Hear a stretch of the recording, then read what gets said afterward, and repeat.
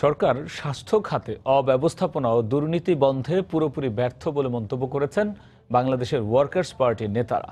রাজধানীর প্রেস ক্লাবের সামনে স্বাস্থ্য খাতে অব্যবস্থাপনা ও দুর্নীতি বন্ধের দাবিতে এক প্রতিবাদী সমাবেশে তারা কথা বলেন।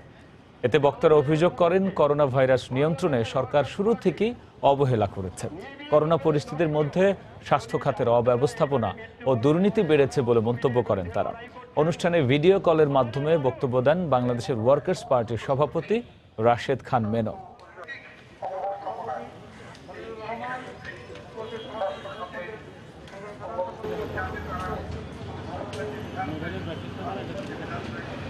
সেই